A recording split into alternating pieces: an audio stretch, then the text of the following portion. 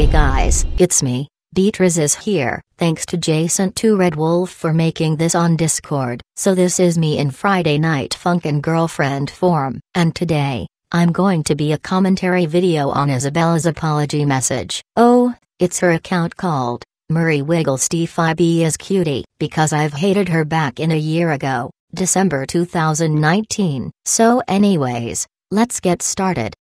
Hi guys, I just wanted to apologize to everyone, I'm sorry for calling me a sock puppet. What, are you saying you're sorry, bruh? No, I'm done with you for what you did since I've hated you back in a year ago, Isabella. Here are the reasons why your apology is denied. First, you're making sock puppet accounts including Murray Wiggle, Greg Wiggle, Baby Greg Wiggle, and many others, making Greg look so pedophile for dating you, and you have him 12 to 15 fake children's. Seriously? How is that Greg Wiggle is real? You know that he's not real, and you're too young to have children's. Second, you keep stealing videos without permissions. That proves right here that you're a thief, and you could get a copyright strike for that. Third, you're making Greg Wiggle, and Jeffrey Wiggle pregnant. Oh really? What the fuck? I bet male can't be pregnant and you're a male pregnancy fangirl, so that's why I've re-uploaded it. Fourth, you bash opinions on Benia Selena. Well you love taking trolls way too seriously. Like bruh,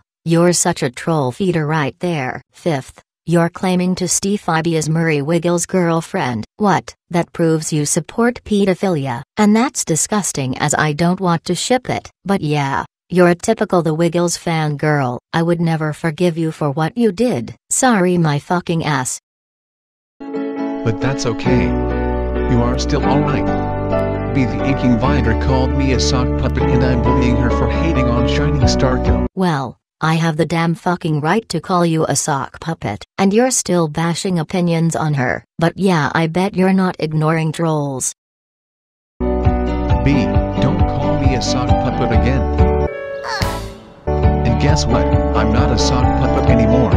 Yes you are. Stop denying. You're the one who is created by Isabella Rodriguez. I have the fucking right. And some people have the right too. So that's why I said no. I've denied your apology but still.